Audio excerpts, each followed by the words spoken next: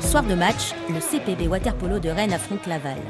Les Rennais, deuxième du classement de leur poule en National 3, doivent continuer sur leur lancée et surtout rester attentifs. On concentre défensivement, on fait plus les mêmes erreurs, on repart sur des bonnes contre-attaques, on enfonce aux 2 mètres, on retourne sur le périmètre, on joue avec le ballon, on arrête d'aller jouer tout seul. Pour conquérir le haut niveau, le club mise sur Kellig, l'entraîneur en poste depuis un an. Le jeune homme s'occupe d'une vingtaine de joueurs et fixe un cadre. Vu qu'il n'y avait pas d'entraîneur avant, bah, du coup, il y a, maintenant il y a des, des types d'entraînement, il y a un cycle sur lequel on travaille. Donc c'est un peu plus sérieux pour eux, donc ils savent sur quoi ils s'investissent aussi, les joueurs. Donc du coup, je pense que ça les motive un peu plus. Il faut être agressif, un peu d'intensité. On reprend un peu l'intensité de première partie.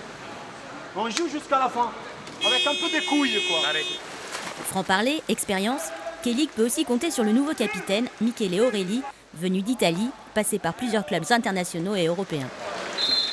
Qu'est-ce que je voulais apporter? C'est euh, une mentalité euh, un peu plus euh, professionnelle, si on peut dire ça. Donc on n'est pas des professionnistes, parce qu'on n'est pas payé pour faire ça, on fait ça pour la passion mais on, peut quand même être euh, professionnel. 6 fois 100, départ une 30, sans soupe.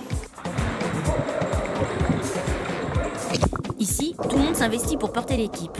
Le premier engagement reste l'entraînement, au moins trois fois par semaine, mais briguer le National 2 n'ira pas de soi.